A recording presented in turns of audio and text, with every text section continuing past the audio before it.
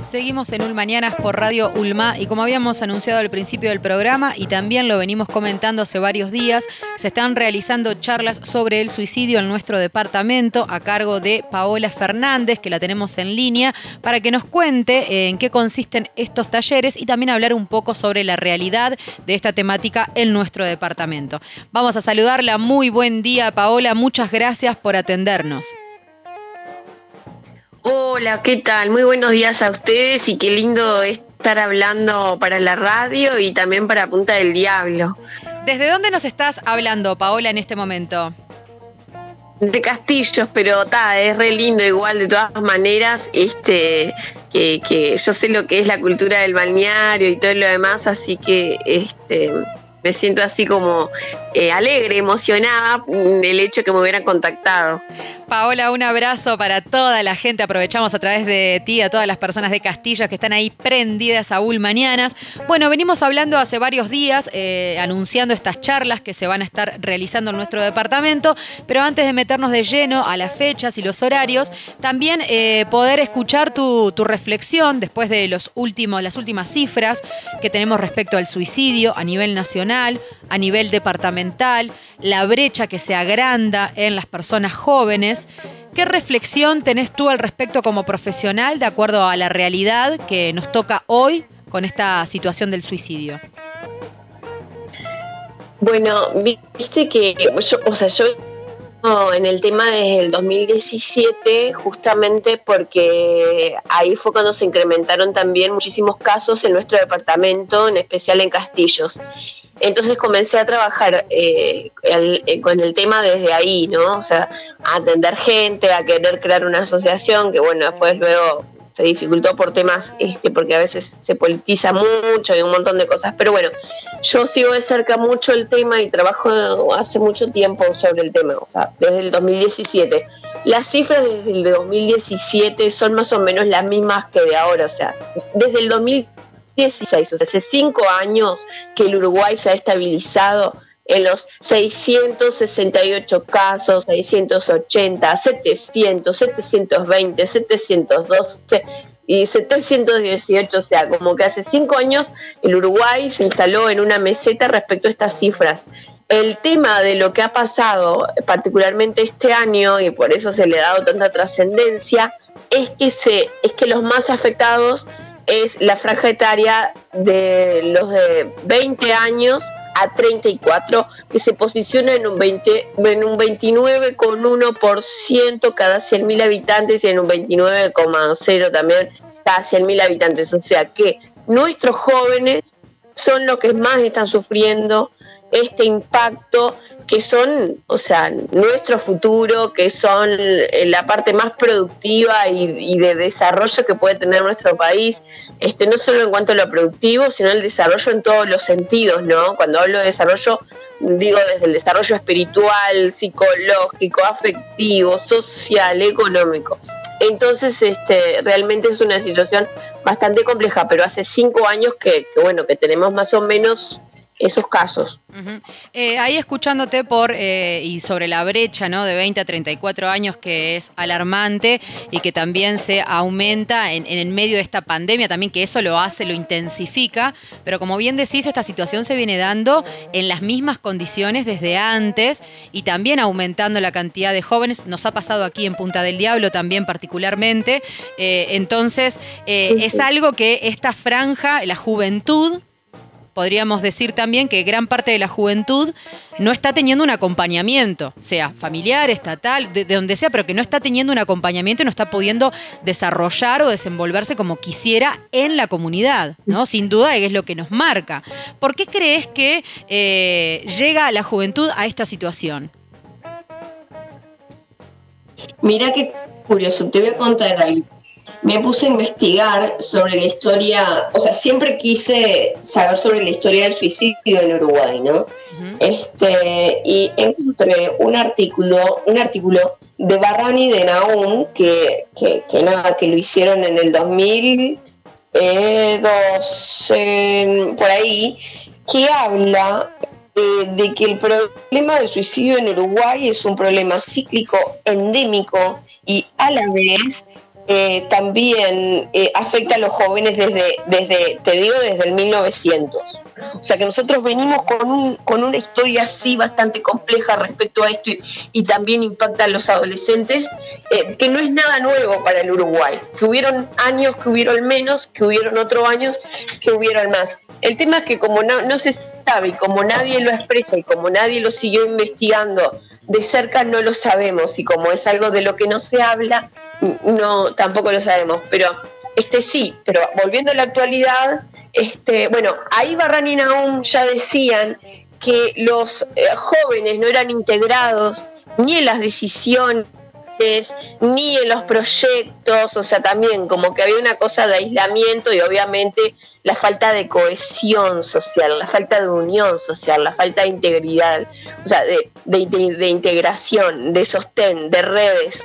Entonces, eso lo aludían como también a posibles factores, además de las crisis económicas y políticas. Estaba muy asociado a las crisis económicas y políticas. Ahora es mucho más complejo. La verdad es mucho más complejo, pero sí, los adolescentes eh, necesitan más espacio. O sea, ¿a qué lugar le damos a los adolescentes en, nuestra actualidad? ¿Qué vida quieren vivir? ¿Cómo se sienten? ¿Qué tipo de contención emocional están teniendo? ¿Qué, ¿Cómo se prepara a su proyecto de vida? Entonces, este, en eso los adolescentes y obviamente también con la pandemia quedaron bastante, bastantes afectados, aislados, pero como también hace cinco años que viene este tema, este, en general, ¿no? ¿Verdad? Digamos que mm, y, e históricamente es todo un tema en Uruguay, digamos que esta sociedad adultocéntrica, eh, digamos, que no le da el lugar adecuado y saludable que merece una etapa tan, eh, ¿cómo decírtela?, compleja, hermosa, linda y compleja como es la adolescencia, como son los jóvenes.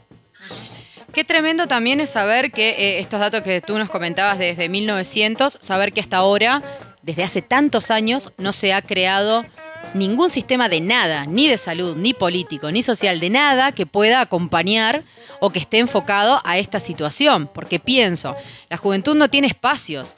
Y estamos celebrando hace un cuatro o cinco días que les den acá en Rocha un par de lugares al aire libre para juntarse, ¿no? Y uno dice, mira todo lo que se está haciendo por la juventud, más allá de los partidos políticos, sino eh, partidizar esto, ¿no? Digo, sino del rol estatal. No está acompañando esta situación, se ve ¿no? Y nos está acompañando desde hace un montón y de nuevo, celebramos que tienen un parque para disfrutar que está buenísimo. Pero vos crees también que esta, eh, estos trágicos números también tienen que ver con la falta de oportunidades, no solamente en lo educativo y en la salud también, sino en lo creativo, en el esparcimiento, en lo comunitario, algo que falta muchísimo en nuestro departamento. Bien, mira, yo he venido descubierto, o sea, me di cuenta en, en, el consultorio, observando, tratando de investigar, porque también es un tema, o sea, yo empecé como de cero, ¿viste? Traté de no apegarme ni a condicionamientos científicos tradicionalistas que ya había sobre el tema y biologicistas. Entonces traté de ver qué me mostraba la realidad, ¿Qué, que, se, que aparecía, ¿no? Entonces este, me fui dando cuenta que además de los aspectos obviamente económicos, sociales, históricos, eh, psicológicos, hay un componente socio-histórico-cultural, y me lo confirmó el artículo de Barrane de Naum, eh, en donde también los conflictos psicológicos son eh, trasladados a los niños y a los adolescentes el modo en que tenemos los adultos, los padres, eh, los familiares, de cómo resolvemos nuestros conflictos son em, aprendidos por nuestros hijos, por nuestros adolescentes, por nuestros jóvenes. Entonces, si un niño crece en una familia que ya sus padres vienen con depresión, que todo el tiempo están tristes, que todo el tiempo están angustiados, irritables, enojados, eso, y que además a veces hay casos, desgraciadamente en la familia, eso se aprende, eso se imita, con eso haciendo la persona de alguna manera, con, ese modo de ser se va desarrollando, es algo que ya es parte de ellos. No quiere decir que sea unilateral, no quiere decir que siempre sea así, pero es el factor sociocultural es un, es un factor eh, predominante, ¿no? O sea, como con lo psicológico, obviamente, porque también, obviamente hay el desarrollo de psicopatologías como la depresión y todo lo demás, que está muy unido a esto. Entonces es, es un tema. Sí, obvia, yo creo que nuestra sociedad siempre fue una sociedad muy envejecida, muy conservadora y vuelvo a repetir que hay que seguir viendo que, cómo vivieron nuestros ancestros, nuestras generaciones anteriores, eh, lo que fue ser joven. Yo creo que eso, eso nos va a dar la respuesta de cómo las generaciones que ahora son, entre comillas, grandes, ven y dan lugar a los jóvenes y adolescentes de ahora. Entonces, ahora, ¿viste? Siempre estamos con el que dirán, siempre a veces se, está con el, tú dijiste, aquel dijo y por qué dijo aquello, y los rumores y los inventos, y eso hace también a la cuestión este, de la construcción subjetiva, social, y cuesta construir. Es una, esa es una opinión que yo es personal, mía, y más o menos profesional, este, pero hay cuestiones culturales y sociales eh, que, que, que, marcan un comportamiento global, ¿no? De cómo somos. Entonces yo creo que está bueno como tratar de, de, en vez de tapar, de no hablar, de no tratar de los temas que nos duelen, de poderlos enfrentar adecuadamente, de liberarse de un montón de constricciones, de, la mirada desde la afuera. Entonces eh, me parece como muy importante esas características a veces que nos que nos, nos contraen de alguna manera, ¿viste? Nos contracturan, nos contriñen, nos, nos inhiben, ¿no? Yo creo que el Uruguay tiene un, bastante de eso. No quiero generalizar en todos lados. Pero este, la juventud es, un, es una época en donde vos te estás construyendo como adulto, estás saliendo, sos alegre, sos creativo, querés hacer un montón de cosas, querés, eh, querés cambiar el mundo. Entonces, este, como tú dices, el hecho de que no se le está dando demasiado lugar a eso durante mucho tiempo es bastante, también es parte del tema. Paola, ¿cómo estás? Aquí Sol Pitau te saluda. Te quería preguntar, ¿por qué pensás que no se habla, que cuesta tanto hablar del tema eh, hoy en día con estos índices altos, con estos índices que no se mueven? ¿Y por qué nos cuesta tanto como, como sociedad y también a nivel estatal abordar el tema? ¿Por qué no podemos hablar o por qué nos cuesta hablar de este tema que es eh, preocupante? Bien, el suicidio siempre ha sido un tabú este, un tabú y por ser tabú también genera también mucho estigma. Y como, como genera mucha vergüenza y culpa, no solamente en los familiares, sino en todo el contexto que se produce, porque no se sabe por qué, y entonces como no se dan las respuestas, como no se encuentran, porque como nadie, a ver, como nadie da respuestas sobre este tema, se generan especulaciones, porque obviamente cada uno empieza a pensar lo que lo que piensa respecto al tema y a veces no coincide con una, con una percepción relacionada a lo que de realmente se, eh, se trata el tema. Este, no se habla porque, eh, por eso yo creo que porque genera mucha vergüenza, genera mucha culpa, genera mucho impacto y porque genera mucho estigma. Eh, date cuenta que hoy en día a veces también, si bien hay una, eh, empezó a ver como una naturalización de consultar, de ir al psicólogo, de poder los problemas, un montón de cosas, eh, yo creo que aún no es suficiente. Todavía sigue eh, la importancia del la, de, la mirada del otro, de qué va a decir el otro. Imagínate que alguien sepa que una persona está pasando por una situación de vulnerabilidad suicida. Bueno, el descrédito en el núcleo familiar que a veces sucede, el descrédito en lo laboral, porque bueno, está ahí, porque como también uno de los mitos que hay es que la persona que está pasando por ese momento está loca.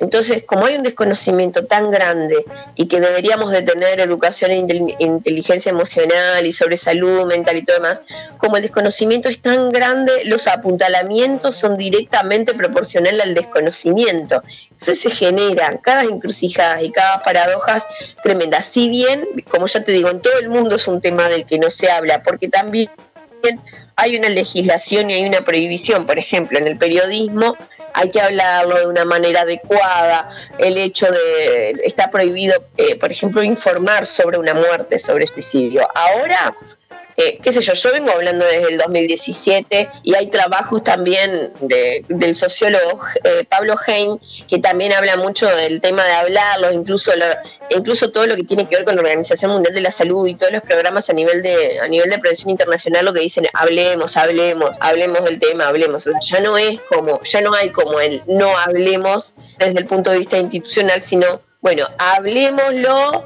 eh, dialoguemos sobre esto pero también de forma adecuada, ¿no? O sea, como tener ese espacio verdadero de diálogo y de escucha que permite un adecuado entendimiento sobre la problemática.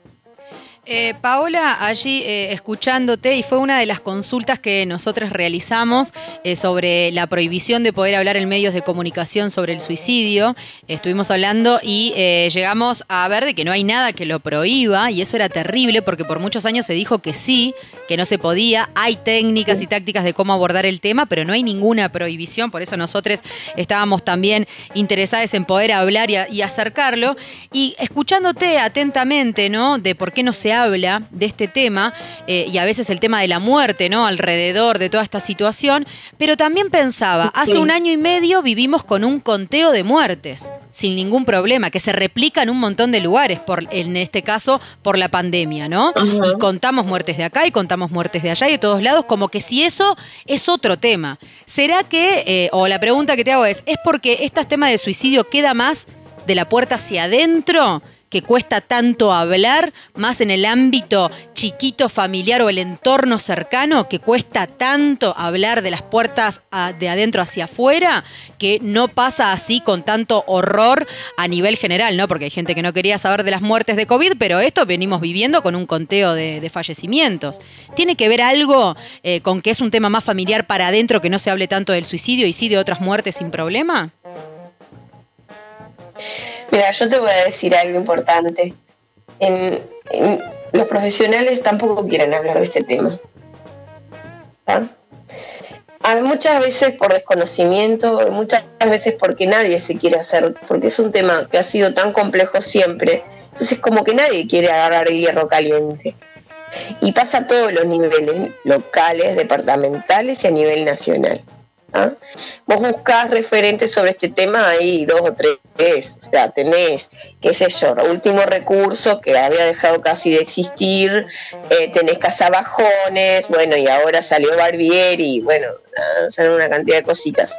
Pero Además, es un tema que los profesionales, no es como el coronavirus que se, se dio de que, que, es toda la organización de la salud que de golpe salió, ¿no? Y de golpe todos se tuvieron que poner a especializar en eso, o eh, viste que hay un entramado de contexto también de la salud, más allá de o sea, tenemos un problema de accesibilidad a las consultas. No tenemos programas especiales desde la salud para que la gente eh, acceda rápido a un psicólogo. O sea, uno va a una mutualista, al menos en el interior, y no es que decís, bueno, mira, quiero un pase, quiero, eh, dame una orden a un psicólogo. Y a los tres días o a la semana o a los 15 días, como mucho, tenés para un psicólogo. Acá tenés que pasar por el médico general, después el médico general te da para un tribunal, que el tribunal te dice, ay, ¿será que vos estás o no para ir a un psicólogo? O sea, el tabú más grande que hay es en sí la figura del psicólogo, la figura de la salud mental, la figura de la enfermedad mental. Es el gran tabú, obviamente sabemos el suicidio y todo lo demás. Pero digo, eh, hoy en día, con todas las dificultades que estamos viviendo, de la soledad, de la tristeza, de la angustia, de, como dices tú, de la pandemia, más tendríamos que, que la persona tendría que ir a las mutualistas o, o, algún lugar y decir, mira, quiero para un psicólogo o bueno, ya si está muy mal, dame, un dame una orden que voy a ir al psiquiatra. Entonces se queda como todo en el embudo. Eh, los médicos generales obviamente hacen lo que pueden con lo que tienen. No es un tema particular, es un tema de estructura, de corporaciones, eh, de, farmacéuticas, de cómo está estructurado todo. Eso por un lado. Eh, Y lo otro también es un tema de puertas abiertas, eh, digo, de puertas para adentro, perdón. Ahora está, perdón, el acto eh, fallido, ahora está haciendo un poco más de puertas abiertas. Pero es, sí, este está haciendo, siempre ha sido algo este para adentro, ¿no? Este, yo pasa que también, como lo vengo hablando desde el 2017, para mí es algo que ya es algo que es como más abierto de poderlo hablar.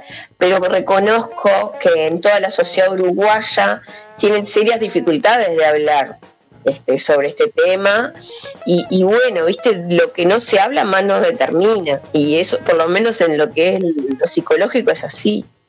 Y Paola, hay muchos profesionales que no abordan el tema, eh, medios, un montón de gente que no lo aborda, pero hay gente que sí, como es tu caso, con estas charlas en nuestro departamento. ¿En qué consisten estas charlas? ¿Por dónde vas a estar?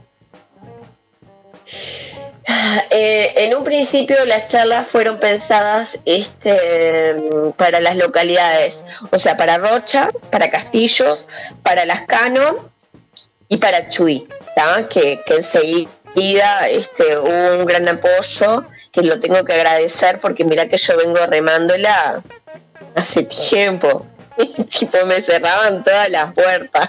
No había, no había nadie que dijera, bueno, dale, vamos por arriba con esto. Entonces yo estoy muy agradecida de que por fin eh, me, hubieran de alguna manera o le hubieran habilitado a alguien poder moverse desde otro lugar, ¿no? Para, para esto. Este, y consiste justamente en hablar del tema eh, dar información sobre los factores de riesgos, sobre los factores protectores, eh, dar herramientas a las personas de qué hacer en este tipo de situaciones, tanto a los familiares, a los amigos, hablar de lo que es la depresión, en los casos que existen y que no son por depresión, porque no del suicidio, si bien la depresión puede eh, llevar a alguien al suicidio, no necesariamente, no necesariamente todas, todas las personas que sufren depresión eh, se suicidan, o sea, viste que es un tema sumamente complejo y bueno, yo voy a estar hablando de todo eso, más que nada dándole eh, herramientas, que es lo que más me interesa a mí, darles herramientas a las personas para que cuando hablen o cuando tengan que ayudar a alguien sepan al menos este, qué hacer. Este, y cuando estén hablando de suicidio, eh, sepan qué hablar, de qué, es de lo que están hablando, ¿viste? Porque hay una cantidad de mitos, hay una cantidad de preconceptos, de prejuicios que realmente este, la gente, viste, es como que, es un punto ciego que se genera. Entonces hay que empezar a, dar luz e información ¿De qué hablamos cuando hablamos de suicidio? ¿De qué hablamos cuando hablamos de depresión? ¿De ¿A qué nos estamos refiriendo? ¿Y cómo funciona y, qué se, y cómo se puede ayudar a un otro en esta situación? Bien, tenemos aquí algunas de las placas. Eh, 4 de septiembre y 11 de septiembre, 14 horas en Espacio Arte y Cultura Joven en Rocha, por ejemplo. Eh, también tenemos sábados 18 y 25 de septiembre, 14 horas, Casa de la Cultura de Chuy y viernes 15 y sábado 23 de octubre, 14 horas, Centro Cultural Lascano. Igualmente vamos a ir compartiendo eh, a medida que se vayan acercando las fechas, Paola, pero saber si hay alguna posibilidad o tenés en vista poder visitar Punta del Diablo o cómo podríamos hacer para que también se puedan acercar aquí. Me parece formidable. Este, incluso hoy ya iba a escribir a la parte de la dirección este, de desarrollo social, que es con quien estoy organizando esto, para agendar la charla para, para, para Punta del Diablo. Este, me gustaría que, fuera también en... Lo que pasa es que como yo las hago los sábados y los fines de semana predominantemente para que la gente pueda asistir, haya más gente que pueda asistir, este, me gustaría también que fuera quizás un sábado o eh, porque ahí en Punta del Diablo también, ¿no? La gente trabaja de lunes a viernes y no tendría que ser a las 18 horas de algún día, uh, sí, de algún día en la semana, ¿no? Claro, sí, sí, fin de semana eh, congrega más gente, por lo menos con disponibilidad para poder acercarse. Bien. Entonces, ahora las fechas que tengo es como después del, del 15 de octubre, por ahí. Este, porque el 9 también tengo, este creo que es en Las Cano una, eh, o, el 15 creo que es en Las Cano y el 23 de octubre también es en Las Cano. Eh, entonces, este, hoy voy a, voy, voy a ver, y también un lugar, ¿qué lugar este, hay ahí que se pueda, eh, hay un centro cultural también, imagino? Exactamente, Centro Cultural de Punta del Diablo, que está aquí también en el Parque Público hay lugar, realmente muchas ah, personas interesadas y muchas eh, profesionales también que acompañan o que son los que quienes nos dan una mano en la vuelta, que está bueno poder reunir a todos y que también la comunidad pueda verles a ustedes quiénes son, que son nuestros vecinos también, que si no son de acá de Punta del Diablo, tú que sos de Castillo, que estamos todos en la vuelta hablando de lo mismo.